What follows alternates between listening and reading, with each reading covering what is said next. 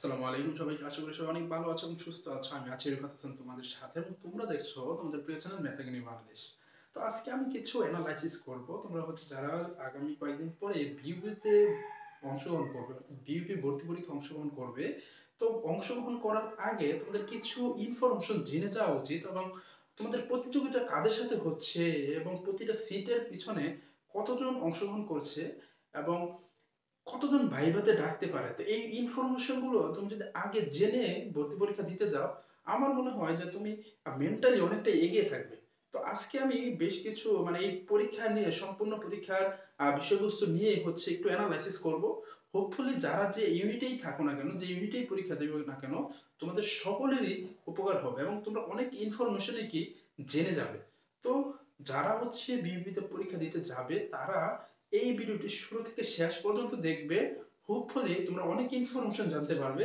শুধু তাই নয় তোমরা তোমরা মেন্টালি অনেকটা এগিয়ে থাকবে। তো চলো তাহলে স্ক্রিনটা একটু দেখা যাক।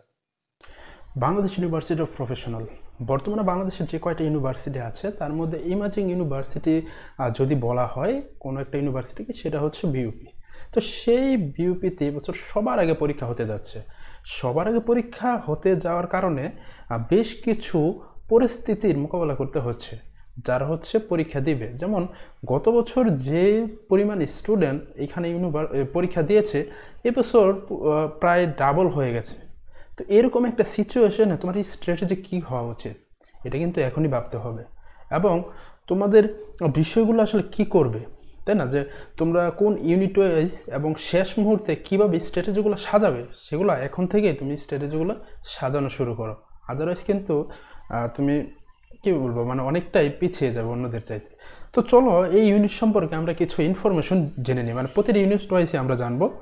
দেখো, এবছর সাতাত্তর হাজার পরীক্ষা দিতে যাচ্ছে। কতজন? সাতাত্তর হাজার। এবং অ্যাপ্লিকেশনে আশি হাজারের উপর অ্যাপ্লিকেশন হচ্ছে, এই করেছে অ্যাপ্লাই করেছে।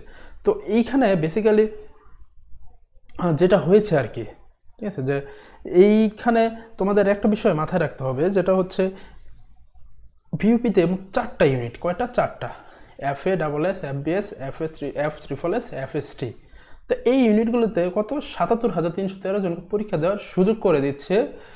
যদিও একাধিক পরীক্ষার্থী আবেদন বাদ দিলে সেটা ষাট হাজারের মতো। তো বেসিক্যালি তোমাদের এইখানে যদি তোমরা মোটামুটি ষাট হাজার স্টুডেন্টের পরীক্ষা দিচ্ছে, এর মধ্যে অনেকেই হচ্ছে একাধিক ইউনিটের পরীক্ষা দিচ্ছে। তো ওইটা তো কোনো ফ্যাক্ট না, কিন্তু পরীক্ষা দিতে হচ্ছে সাতাত্তর হাজার সাতাত্তর হাজার এই তো একটা সিটের জন্য তোমার প্রতিযোগিতা করছে, তাই না? তো এখন চলো জানা যাক হচ্ছে কোন ইউনিট ওয়াইজ কোন ইউনিটে কতজন পরীক্ষার্থী এবং কতজন এর বিপরীতে লড়বে? সেই ইনফরমেশনগুলো একটু আমাদের জেনে রাখা উচিত। দেখো, প্রথম হচ্ছে এফবিএসে টোটাল পাঁচশোটা হচ্ছে কি সিট রয়েছে। পরীক্ষার্থীর সংখ্যা কত? এগারো হাজার সাতশো ষোলো। অর্থাৎ এগারো হাজার পরীক্ষা দিবে। প্রতি আসনের বিরু- বিপরীতে লড়বে হচ্ছে তেইশ জন বা চব্বিশ জনের মতো আর কি। তো গত বছর ছিল হচ্ছে দশ হাজার। এই ইউনিটের ক্ষেত্রে খুব একটা রেডিক্যাল চেঞ্জ আসেনি। ঠিক আছে? যেমন গতবারের তুলনায় এই যে খুব বেড়েছে বিষয়টা এরকম নয়।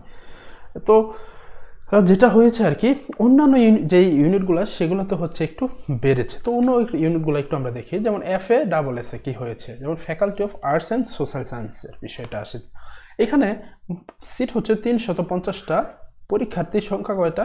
বিশ হাজার নয়শো বত্রিশ জন। প্রতি সিটের বিরুদ্ধে প্রতি সিটের বিরুদ্ধে প্রায় ষাট জন কি প্রতিযোগিতা করবে। কিন্তু দেখো, এই বিষয়গুলো হচ্ছে, এই ষাট জন মানে ষাট জন বা একশো জন যাই হোক না কেন, তোমার তো সিট প্রয়োজন জাস্ট একটা, তাই না? তুমি হয়তো এত টেনশনের কিছু নেই। এই ষাট জন কোনো বিষয়ই না। এখানে অনেকেই পরীক্ষা দিতে যাবে, শুধুমাত্র মানে ফর্ম তুলছে এক্সপিরিয়েন্স নেওয়ার জন্য, এই আর কি। তো তারপরে দেখি গত বছর পরীক্ষার্থী ছিল এখানে বারো হাজার, এখানে আট হাজার বেড়ে গেছে। প্রায় মোটামুটি ডাবলই বলা চলে। তারপরে কি? এই এই ক্ষেত্রে যেটা হচ্ছে, গত বছর প্রতি আসন প্রতি ছত্রিশ জন, আর এইবার এবার হচ্ছে কত উনষাট বা ষাট জন আর কি। তো পরে আমরা একটু দেখি যে এফ ত্রিপল এস এর অবস্থাটা কি আসলে। দেখো এফ ত্রিপল এসে দুইশো পঞ্চাশটা সিট আছে একুশ হাজার পরীক্ষার্থী। প্রতি আসনের বিরুদ্ধে লড়বে হচ্ছে পঁচাশি জন। গত বছর এই সংখ্যাটা ছিল, জানো কত? ছিল হচ্ছে নয় হাজার নয়শো ছিয়াত্তর জন। কতজন? নয় হাজার নয়শো ছিয়াত্তর জন। দেখো ওইখানে বলতে গেলে হচ্ছে ডাবলের চাইতেও বেশি হয়ে গেছে। এবং এগুলো আসলে ভয় পাওয়ার কিছু নেই। এখানে তোমাদের যারা আলটিমেটলি ভালো প্রিপারেশন নিয়েছে, তারাই অবশ্য নিজের জায়গাটা করে নিতে পারবে আর কি। ঠিক আছে? ভয় পাওয়ার কিছু নেই। পরে আসি আমরা একটু FST faculty of science and technology এখানে আসন সংখ্যা হচ্ছে মাত্র একশো পঞ্চাশটা। পরীক্ষার্থী তেইশ হাজার প্রতি আসনের বিরুদ্ধে একশো চুয়ান্ন জন। অর্থাৎ একটা সিটের পিছনে তোমার একটা সিটের পিছনে থাকবে কত? একশো চুয়াত্তর চুয়ান্ন জন। ঠিক আছে? একশো চুয়ান্ন জনকের মধ্যে তিপ্পান্ন জনকে তোমাকে ডিফিট করে একটা সিট অর্জন করতে হবে। তবে এইখানে খুশির খবর হচ্ছে কি? এই যে এখানে সিটগুলো আছে, যেমন হচ্ছে একশো পঞ্চাশ, তো এর পিছনে ওয়েটিং থেকে অনেক যাবে। মানে অনেক পর্যন্ত দেখব হচ্ছে একশো পঞ্চাশে তিন ডাবলও হয়ে যাচ্ছে, তিন ডাবল চার ডাবল কেন হচ্ছে? কারণ এটা যেহেতু সবার আগে পরীক্ষা হচ্ছে, এখানে চান্স পাওয়ার পরে অনেকে অনেক ইউনিভার্সিটি তারও চান্স পাবে। তো তারা হচ্ছে দেখা যাবে ওইখানে শিফট হয়ে যাবে, তাই না? তো শিফট হয়ে যাওয়ার ফলে সিটগুলো তো তোমার ফাঁকা হবে, ফাঁকা হলে পিছন থেকে হচ্ছে টানবে।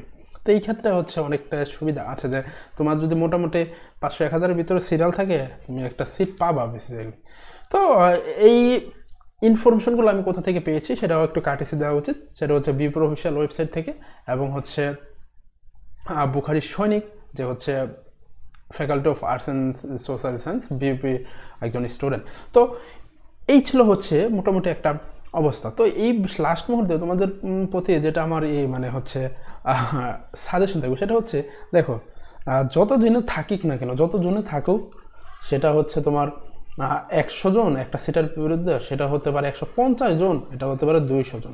তোমার প্রয়োজন শুধু একটা।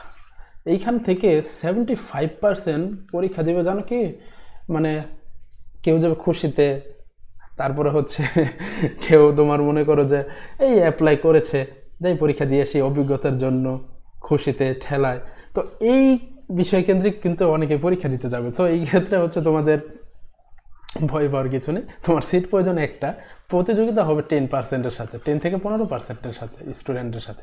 আর বাকিগুলো আর খালি যাবে, আসবে, পরীক্ষা দিবে এক্সপিরিয়েন্স নেবে, অভিজ্ঞতা অর্জন করবে, শেষ। এই অভিজ্ঞতা যে তারা কোথায় কাজে লাগাবে, সেটা আসলে তারা নিজেরাও জানে না। তো এই পর্যন্তই আজকের অ্যানালাইসিস তোমাদের যদি কোনো মতামত থেকে, থাকে, যদি কোনো কোশ্চেন থাকে, সেটা অবশ্যই কমেন্টে জানাবে। এছাড়াও তোমাদের যদি, তোমরা যারা কেউ যদি নতুন হয়ে থাকো ওই চ্যানেলে তাহলে অবশ্যই চ্যানেলটা সাবস্ক্রাইব করে নেবে। কারণ চ্যানেলটি সাবস্ক্রাইব করলে সবার আগে সর্বপ্রথম তুমি কিন্তু আমাদের এই ভিডিওগুলো পেয়ে যাবে। ঠিক আছে? এবং যা তোমাদের ভবিষ্যতে অনেক উপকার আসবে। থ্যাংক ইউ সো মাচ ভালো থাকো, সুস্থ থাকো। আল্লাহ হাফিজ।